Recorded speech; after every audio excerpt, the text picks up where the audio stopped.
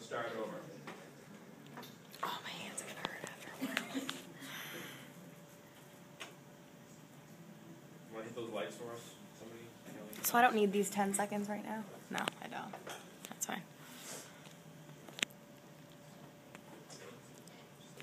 All right, so um, in order to do your frequency table in Microsoft Word, uh, the first thing that I'm going to do is I'm going to insert a table. So I go up to the Insert uh, drop-down menu. I choose Table, and I know I need five columns for an APA format table, and I need to figure out how many rows I need. I'm going to just make a five by four table right now.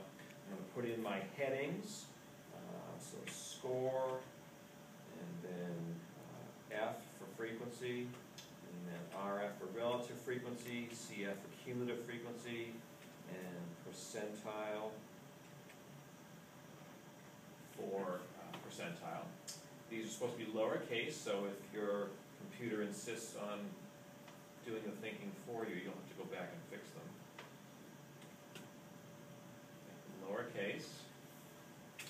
And then you'll type in your scores. Uh, Five, whoops, five, four, three, whatever they are, right? Four, three, There we go. Our frequencies, we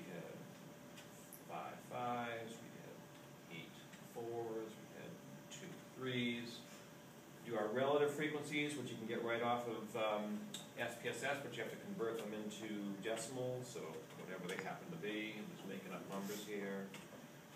Four, five. Oh, let's say cumulative frequencies, whatever they happen to be.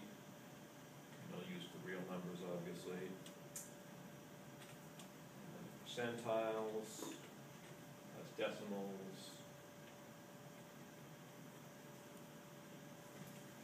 Okay, let me blow that up for you. That's, that's easy to see. Whoops. Okay, I'm gonna center everything by going up to the center. Text choice up here, makes everything look nice. Uh, and then I'm gonna go through and I need to get rid of all of the, um, vertical lines.